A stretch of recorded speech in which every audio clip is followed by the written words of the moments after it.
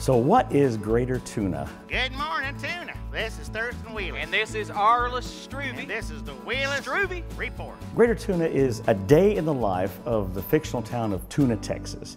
Tuna, Texas is a great small town. It's basically where the Lions Club is too liberal and Patsy Cline never dies. I've heard this is one of the most produced plays in the United States. And the reason for that is because I believe because of the writing. Greater Tuna was written in the 80s by uh, a couple of local guys. It was written as a uh, sort of satire uh, or caricature of small town life in Texas. All the characters that you see in the show, you can say, oh, that's like my aunt such and such, or my cousin so and so, or, or this and that. I feel very close to this show because uh, I see these, these characters, these zany characters, and I, I know quite a few of them personally. That's what endears it to people, is that you can connect with the characters. You feel like you almost know them by the end, and, uh, and it kind of teaches people, it, it, sees things from a different perspective. I think it helps in that regard. That's why it's been so popular, in my opinion. The play uh, has two men playing all 20 roles. I'd divorce your ass. Some highlights, uh, Petey Fisk, uh, the Bumiller children, there are three, Stanley, Charlene, and Jody. My favorite character would have to be Vera Carp.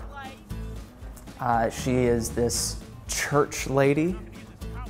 The characters in the show are definitely characters.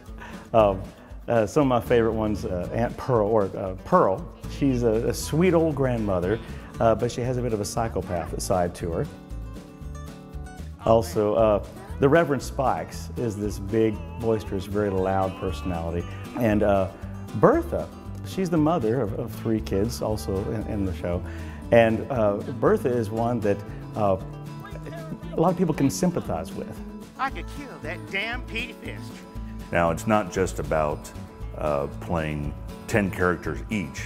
It's also about, you know, going backstage and quickly changing uh, into different costumes and different uh, wigs and different uh, accessories. Going between one costume to the next, sometimes we have as few as three lines uh, to go from one to the next, and that's just been uh, somewhat of a whirlwind. That person just went out that door and just came in that door very quickly, and they're dressed differently. How did they do that? It's a feat of technical theater. They are constantly changing in and out of costume and in and out of character, uh, which brings a whole new level of comedy uh, to the show.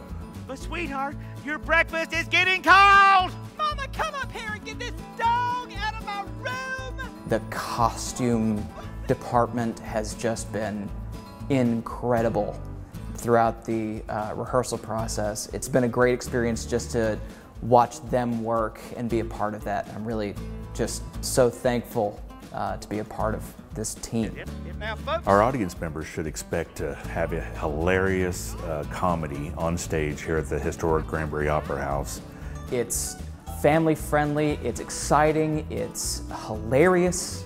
There's certain things that we say to each other that you might start repeating to, to your family and friends after the show. It's a wild ride. It's an absolute wild ride just to watch. It is. It is. It is. It is. It is.